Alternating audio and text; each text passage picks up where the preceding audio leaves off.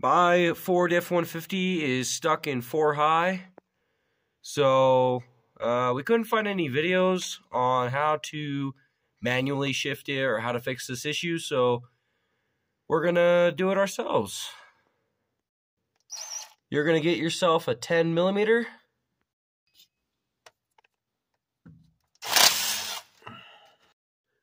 Once you get your three bolts out, which go around here, and then your fourth bolt out holding that bracket, this motor will slide right out.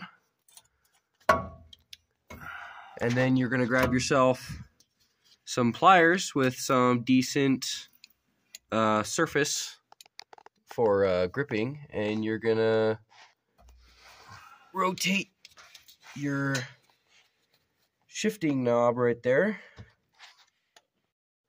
for your convenience, it actually has the uh, shiftings, the the gears uh, stamped on there. So you uh, rotate your knob from the four high that it was stuck in to uh, two high using your pliers, and there you go.